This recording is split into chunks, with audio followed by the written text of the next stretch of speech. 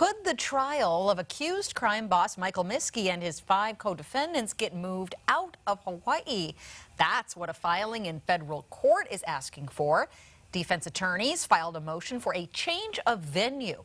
An expert in identifying jury bias who worked on helping pick an untainted jury in the Kealoha trial says a survey he conducted reveals half of the possible jury pool here in Hawaii has heard of the case, and of those, nearly 90% already believe Miske's guilty.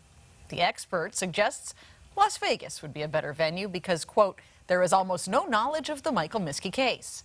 The matter is pending before the federal judge.